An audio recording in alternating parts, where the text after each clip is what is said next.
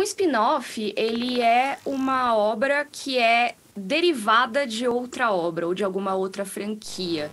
Eu sei que esse conceito é um pouco amplo demais, mas é fácil você imaginar que quando você tem, por exemplo, uma série ou um filme, você tem algum personagem ou algum grupo de personagens daquela obra que é muito popular, normalmente o spin-off pode pegar esse personagem e levar para uma outra história. Com isso, eu acho que os estúdios, autores e tudo mais, eles fazem apostas no que eles consideram que é uma das forças daquela obra principal. Então, tá, o que, que os fãs gostam daqui? É desse personagem? Será que valeria a pena contar uma história da carreira desse personagem antes dele estar aqui? Ou seja, uma prequel? Eu acho que antigamente o spin-off já existia em grande quantidade, né? A gente tem séries mega populares hoje em dia que nasceram como spin-offs, por exemplo, She-Ra nasceu como uma ramificação de He-Man, você tem Xena, que também surgiu como uma série derivada, mas eu acho que nos dias de hoje o que acontece é que você tem às vezes, a aposta de que aquela obra vai fazer sucesso suficiente para bancar um spin-off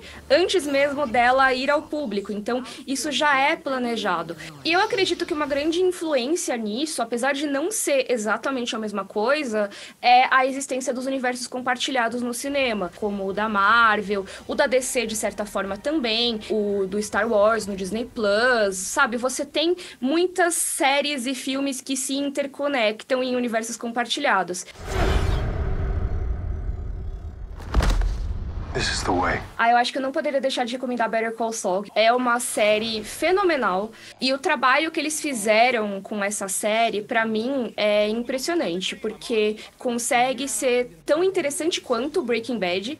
Ela não é tão focada em algumas coisas como Breaking Bad, então ela não é tão focada em carreira criminosa assim como em Breaking Bad, mas também tem esse elemento, então você também fica sabendo como algumas coisas de Breaking Bad vieram a ser como elas são mas ao mesmo tempo ela traz esse personagem que é o Jimmy, que eventualmente assume esse nome de Saul Goodman, que é o advogado que aparece em Breaking Bad, e pega esse personagem e expande ele de uma forma que é completamente humana. E tudo isso com uma trama mega interessante, a fotografia e a trilha sonora também arrasam. Então fica aí minha recomendação. Better Call Saul, para mim, é um dos melhores spin-offs que a gente tem atualmente. I remember you saying something about doing the right thing.